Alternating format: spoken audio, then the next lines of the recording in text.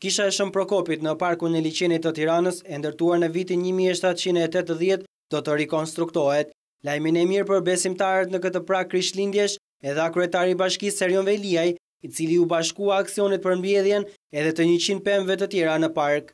Në këtë prag Krishtlindjesh kemi një lajm edhe për kishën që gjendet tek liqeni, një kishë e shkatërruar gjatë kohës së komunizmit, kisha e famshme e Shën Prokopit, e kthyer në një restorant bar bufe sovjetike, sot është kishë, i është kthyer kishës, ama vazhdon duket si bar bufeja sovjetike e viteve 70-80. Ne kemi marrë një vendim që do ta rikthejmë kishën siç ka qenë, për të siguruar që jo vetëm komunitetet e besimit, po dhe liqeni, që është ndërtuar rreth kishës së Shën Prokopit të kthehet në identitet të plotë. Kryebashkiaku deklaroi se restaurimi i këtij objekti kulti dhe rehabilitimi i hapësirës përreth tij krijon një xhevair të vogël në kryeqytet.